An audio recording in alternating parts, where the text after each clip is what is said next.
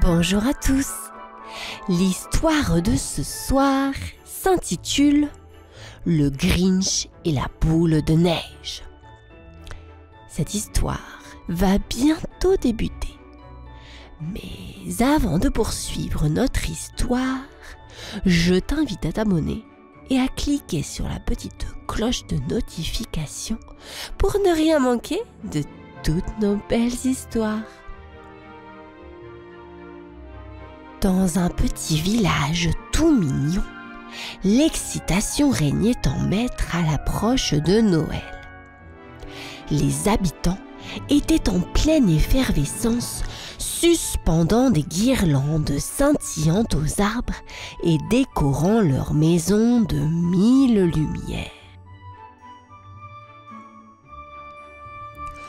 Tout le monde souriait et chantonnait joyeusement. Mais au sommet d'une colline, dans une grotte sombre et froide, vivait le Grinch.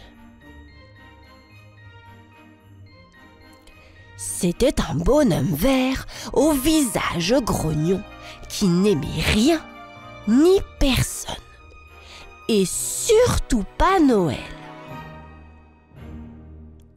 Chaque année, il maudissait cette fête avec une passion inébranlable.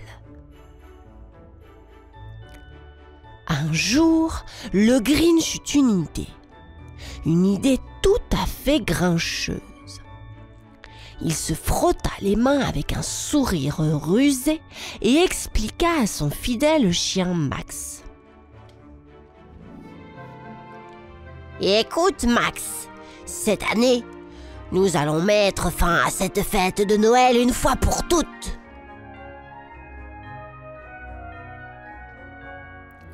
Max inclina la tête, l'air un peu perplexe. Le Grinch continua. Nous allons fabriquer la plus énorme boule de neige jamais vue, Max, et la faire dévaler la montagne droit sur ce village gai et bruyant. Plus de Noël, plus de chants irritants, et surtout plus de joie.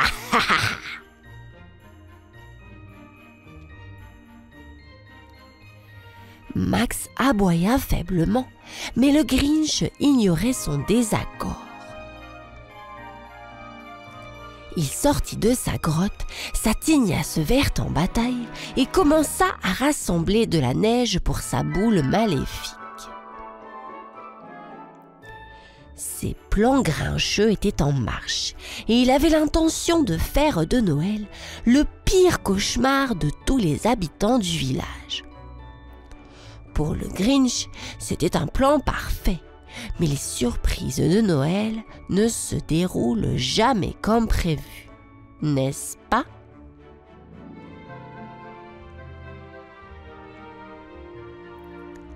Le Grinch, avec un enthousiasme plutôt grincheux, rassembla de la neige pour sa boule diabolique. Il avait un plan machiavélique en tête, mais la neige ne coopérait pas vraiment.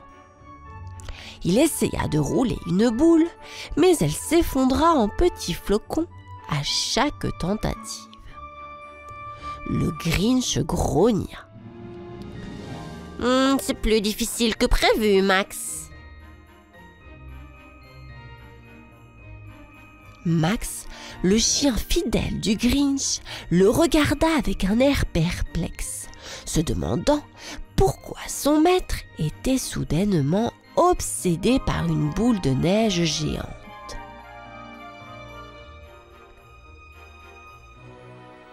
Pendant que le Grinch essayait de former la boule, il glissa et tomba dans un banc de neige moelleux. Max leva les yeux et secoua la tête comme s'il disait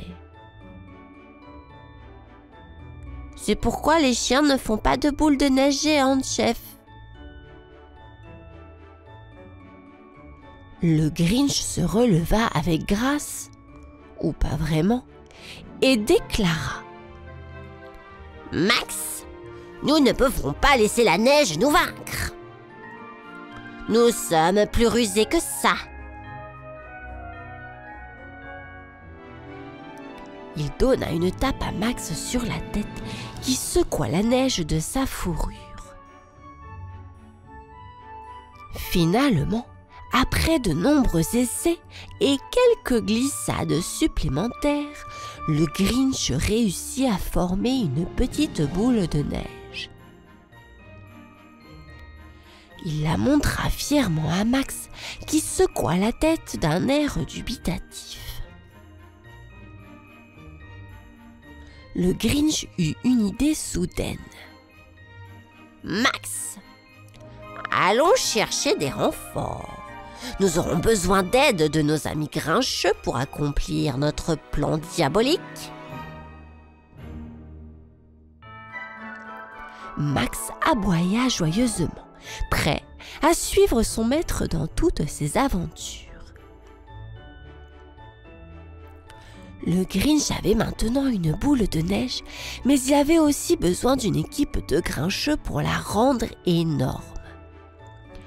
La suite promettait d'être encore plus amusante et remplie de bêtises grincheuses.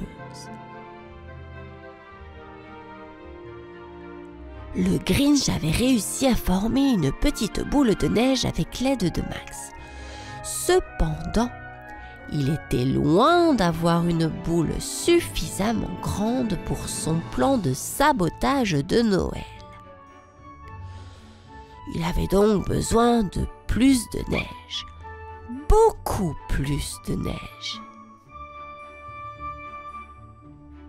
Avec Max à ses côtés, le Grinch se rendit dans la forêt voisine où il espérait trouver une grande quantité de neige il commença à ramasser de la neige à pleine main et à la jeter dans la boule, espérant ainsi la faire grossir rapidement.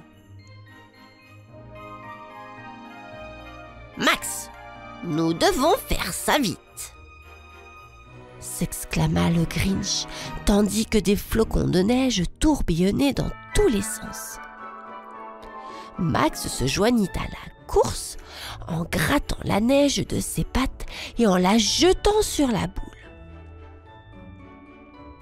Mais voilà le problème. Le Grinch était tellement pressé de faire grossir la boule qu'il ne se rendit pas compte qu'elle était devenue énorme, et cela beaucoup plus rapidement que prévu. La boule de neige était devenue gigantesque et le Grinch n'avait plus le contrôle.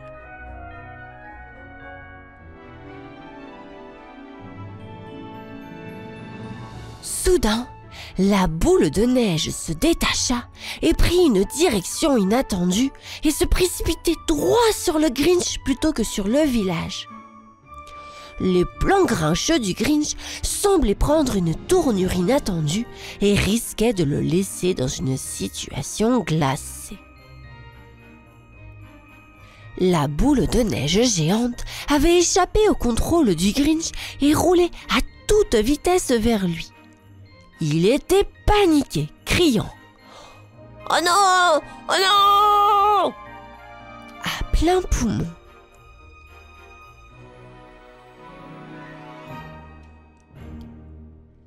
Max, le fidèle chien du Grinch, aboyait également, manifestant sa propre panique.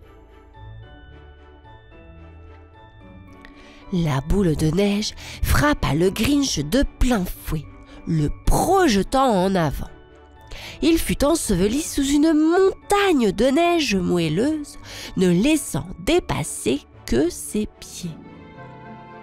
Max, quant à lui, se retrouva coincé sous la boule, sa queue dépassant.